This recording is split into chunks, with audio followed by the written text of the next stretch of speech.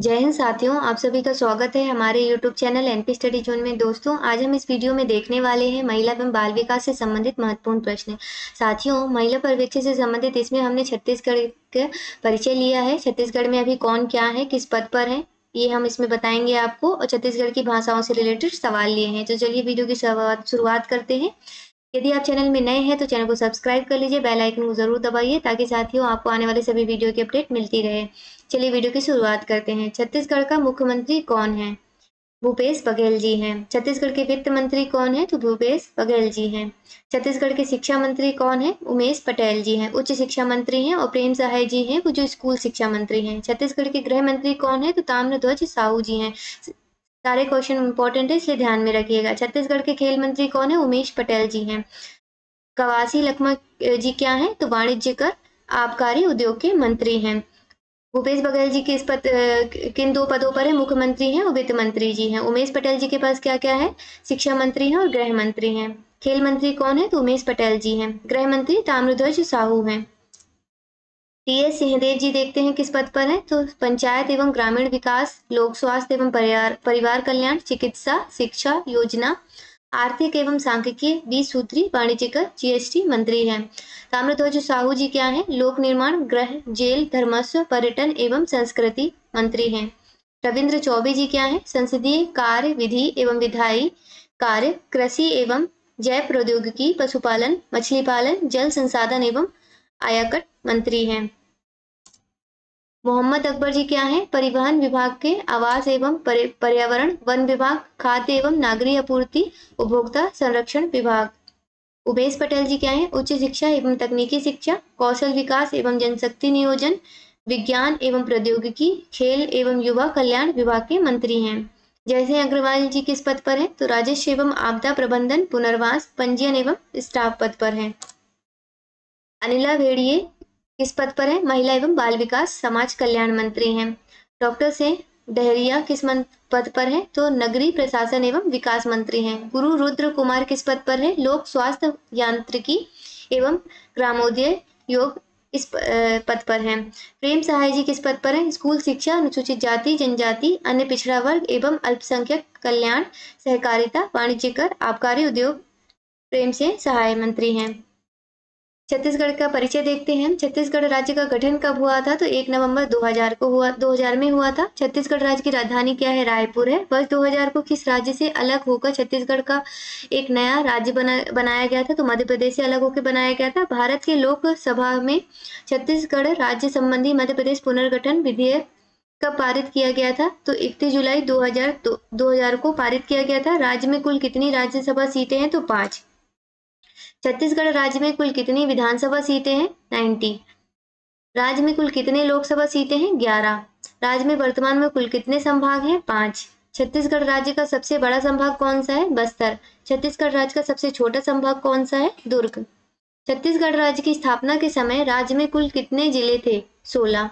छत्तीसगढ़ राज्य में वर्तमान में कुल कितने ज़िले हैं? बत्तीस। छत्तीसगढ़ राज्य का सबसे बड़ा जिला कौन सा है? तो राजनंद गाँव है। क्षेत्रफल की दृष्टि से छत्तीसगढ़ राज्य का सबसे छोटा जिला कौन सा है? कोरेला, पेंड्रा, मारवाही। छत्तीसगढ़ राज्य का कौन सा जिला पृष्ठी छाया प्रदेश के अंतर्गत आता है? कवर्धा। छत्तीसगढ़ राज्य के प्रथम राज्यपाल कौन थे? तो दिनेश नंदन सहाय जी थे। छत्तीसगढ़ राज्य के प्रथम मुख्यमंत्री कौन है? तो अजित प्रमोद जोगी जी हैं। छत्तीसगढ़ राज्य के वर्तमान राज्यपाल कौन है? श्री विश्वाभूषण हरिचंदन जी हैं। छत्तीसगढ़ राज्य के वर्तमान मुख्यमंत्री कौन है? भूपेश बघेल जी हैं। छत्तीसगढ़ राज्य की राजकीय भाषा क्या है? हिंदी और छत्तीसगढ़ी है। छत्तीसगढ़ राज्य का राजकीय गीत क्या है? अरपा पैरी के धार। छत्तीसगढ़ राज्य का राजकीय वाक्य क्या है? गढ़बो नवा छत्तीसगढ़। छत्तीसगढ़ राज्य का राजकीय पशु कौन सा है? तो जंगली भैंसा है। छत्तीसगढ़ राज्य का राजकीय वृक्ष कौन सा है? साल वृक्ष है। राज्य का राजकीय पक्षी क्या है? पहाड़ी मैना छत्तीसगढ़ राज्य का कुल क्षेत्रफल कितना है? एक लाख पैंतीस हज़ार एक सौ चौवन वर्ग किलोमीटर। छत्तीसगढ़ राज्य का सबसे बड़ा नगर कौन सा है? रायपुर। 2011 की जनगणना के अनुसार छत्तीसगढ़ राज्य की कुल जनसंख्या कितनी है? दो करोड़ पचपन लाख पैंतालीस हज़ार एक सौ अंठानवे। दो हज़ार ग्यारह की जनगणना के अनुसार छत्तीसगढ़ राज्य का जनसंख्या घनत्व कितना है? एक सौ नवासी व्यक्ति वर्ग किलोमीटर।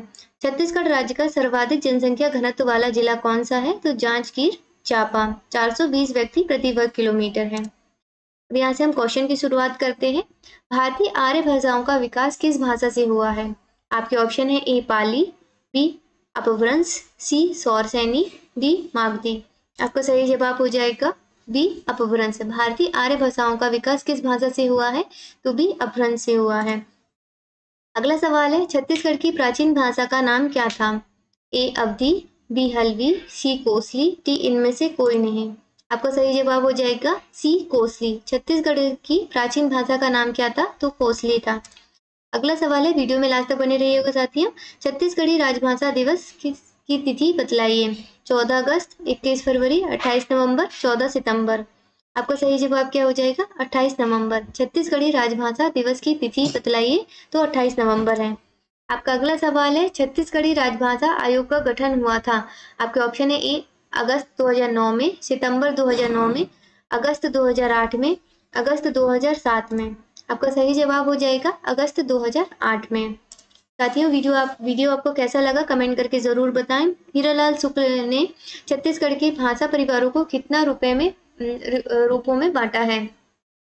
हीरालाल शुक्ल ने छत्तीसगढ़ के भाषा परिवारों को कितने रूपों में बांटा है? तो आपके आपके ऑप्शन है ए दो, बी तीन, सी चार डी पाँच। सही जवाब क्या हो जाएगा? बी तीन। आपका अगला सवाल है, छत्तीसगढ़ राजभाषा आयोग का प्रथम प्रांतीय सम्मेलन कहाँ हुआ था? आपके ऑप्शन है, ए कोरबा में, बी भिलाई में, सी बिलासपुर में, डी रायपुर में। सही जवाब क्या हो जाएगा? बी भिलाई में। आपका अगला सवाल है हल्बी किस भाषा परिवार से है? आपके ऑप्शन है, A Dravid, B Halbi C are D Mundari. सही जवाब क्या हो जाएगा? सी आर ए वीडियो आपको कैसा लगा कमेंट करके ज़रूर बताएँ। अगर आप चैनल में नए हैं तो चैनल को सब्सक्राइब कर लीजिए। बेल आइकन को ज़रूर दबाइए ताकि साथियों आपको आने वाले सभी वीडियो की अपडेट मिलती रहे। आपका अगला सवाल है निम्न में से कौन बस्तर अंचल की बोली नहीं है? आपके ऑप्शन है ए हल्बी बी गोड़ी सी सद, सदरी टी भदरी। आपका सही जवाब क्या हो जाएगा? सी सदरी। निम्न में से कौन बस्तर अंचल की बोली नहीं है तो सदरी। आपका अगला सवाल है, छत्तीसगढ़ राजभाषा आयोग का सप्तम अधिवेशन कब आयोजित हुआ था? फरवरी 2019 में, मार्च 2019 में, जनवरी 2019 में, इनमें से कोई नहीं। आपका सही जवाब हो जाएगा, मार्च 2019 में। छत्तीसगढ़ राजभाषा आयोग का सप्तम अधिवेशन कब आयोजित हुआ था? तो मार्च 2019 में आयोजित हुआ था। आपका अगला और आखिरी सवाल है हमारे वीडियो का, कौन सी छत्तीसगढ़ी बोली नहीं है? आपके ऑप्शन है ए बिजवारी बी, सदरी, सी, लोधाती, सी, डी, बैगानी। आपका सही जवाब क्या हो जाएगा सी लोधाती वीडियो आपको कैसा वीडियो आपको कैसा लगा साथियों, कमेंट करके ज़रूर बताएँ। वीडियो को लाइक करिएगा, चैनल को सब्सक्राइब करिएगा। धन्यवाद।